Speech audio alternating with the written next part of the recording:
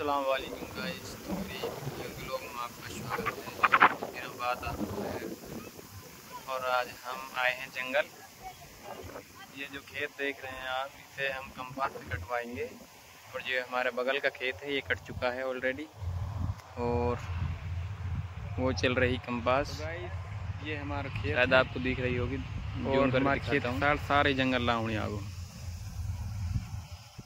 पूरे जंगल में पड़ रही चारों तरफ़, लेकिन कम ही लोग हैं जो हाथ से काट रहे हैं, ज़्यादातर मशीन से ही कटेगा। देखिए, पूरा जंगल है। हमारे जंगल में आपको एक बात नोटिस करी हो तो सिरसू देखने को नहीं मिलेगी, क्योंकि ये पानी का जंगल है तो जहाँ पानी ज़्यादा है, वहाँ सिरसू कम ही होती है। ये हमारे भाई साहब हैं, पीछे हमारी अम्मी जान। तो ये कंपास आपको हम पास से दिखाएँगे चल के, चलते हैं। इस पास से ऐसी दिखती है मशीन।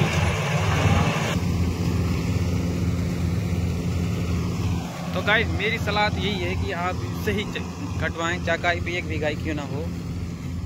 उससे फ़ायदा ये है कि इसमें जो आदमी को खुद को नहीं बचना पड़ता, क्योंकि मेहनत और इसमें फ़ायदा भी है, क्योंकि इसकी कटाई बहुत ही सस्ती है।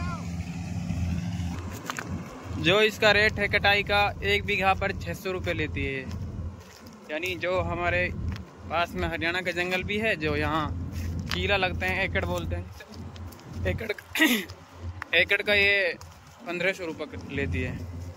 और एक बीघा का छः सौ रुपये। यानी कुटाई भी सस्ती है, एक बार लगाओ तो। और इसमें फ़ायदा भी बहुत है। फ़ायदा ये है कि अनाज है जो वो बहुत, यानी बीघा पे बैठेगा बीस मन। तो करीबन तेईस चौबीस मन बैठ जाता है। यानी पर बीघा तीन चार मन फालतू बैठता है इससे। जब हम कटर से कुटवाते हैं। इससे फ़ायदा है, फिर बाद में इससे रूटर से न्यार बन जाता है। ये रहा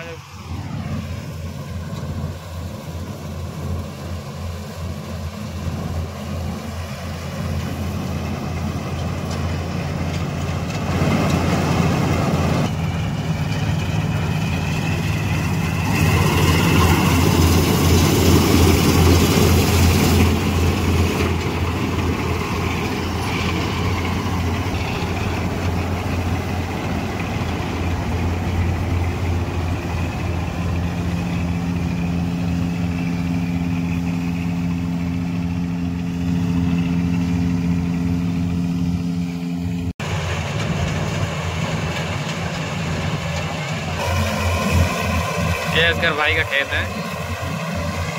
बहुत शानदार तरीके से काटते हैं और इससे गाय एक फ़ायदा है जो गेहूँ बैठते हैं, यानी बीघा में वैसे बैठे हैं बीस मिनट तो इससे चौबीस या तेईस मिनट बैठ जाते हैं। तीन चार मन एक बीघा में फालतू बैठता है इस मशीन से। ये फ़ायदा तो है।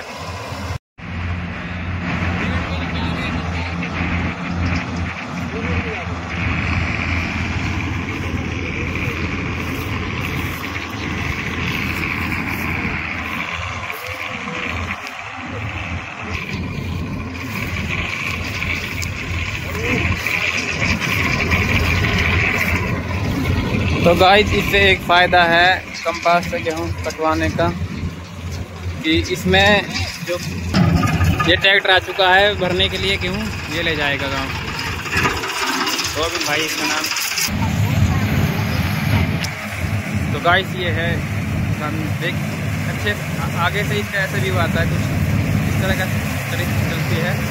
तो गाइस अभी इसमें जो पूरा खेत है कट चुका है, अब इसमें खलेगा। ये ट्रैक्टर है। ट्रॉली इसमें खले गए इसकी जो कंपास की टंकी है, वो पचास मन की है। अब देखते हैं कि ट्रॉली भरती है नहीं भरती।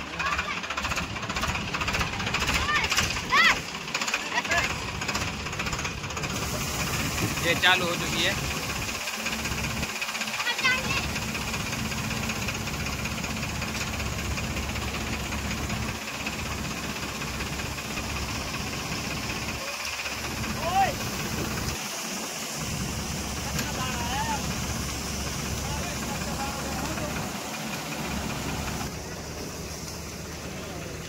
हरा दाना भी है।